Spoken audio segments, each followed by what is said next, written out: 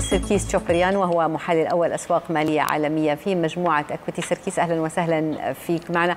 أعطيني انطباعاتك لو سمحت عن هذه الأرقام التي سمعناها من الصين. هل نحن أمام فعلا تباطؤ اقتصادي كما كان تنبأ ال PBOC وبدأ بعمليات التيسير مسبقا؟ صباح الخير. بالفعل البيانات الاقتصادية التي صدرت اليوم أظهرت وبشكل واضح تباطؤ اقتصادي ملموس في ثاني أكبر اقتصاد في العالم وهو الاقتصاد الصيني.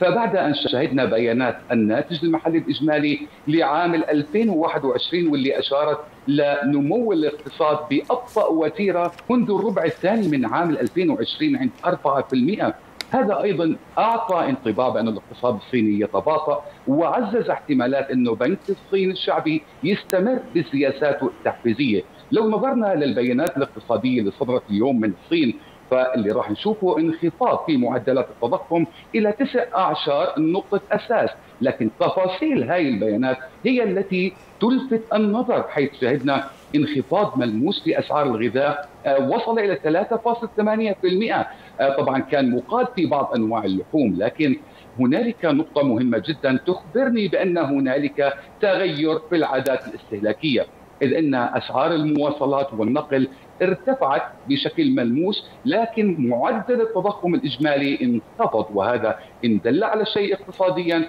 فهو يدل على تغير العادات الاستهلاكية. انخفض تضخم نمو الأسعار المنازل. كذلك حصل عندي انخفاض في نمو الأسعار على بعض السلع الأساسية.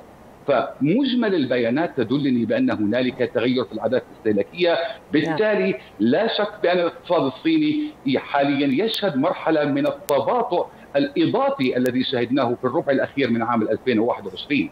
نعم لا شك بأنه هذا يعني نضيف إلى ذلك الأزمة التي يمر بها القطاع العقاري والتخوف لفترة طويلة من انهيار هذا القطاع هل هل ما زال هناك تخوف من انهيار القطاع العقاري؟ هل وجد القطاع العقاري الآن أرضية ممكن أن يقف عليها؟ نعم الآن بالنسبة لقطاع العقار في أي دولة وليس فقط في الصين هو أحد المؤشرات المهمة التي تدل على مراحل الدورة الاقتصادية وتنبئ بمستقبل الدورة الاقتصادية عندما نتكلم عن انخفاض التضخم في قطاع العقار الصيني إلى 1.4% هنالك مشكلة حقيقية في الطلب والعرض في قطاع العقار.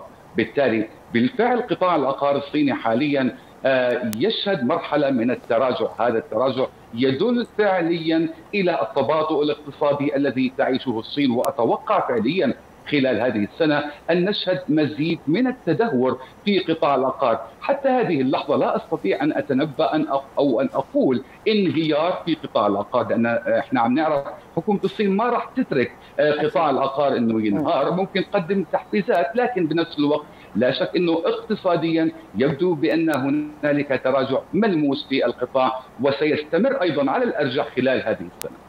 بس يمكن المشكلة الأكبر أو التحدي الأعظم بالنسبة للصين هو موضوع الفيروس موضوع كوفيد والإصرار على سياسة الإصابات الصفرية يعني.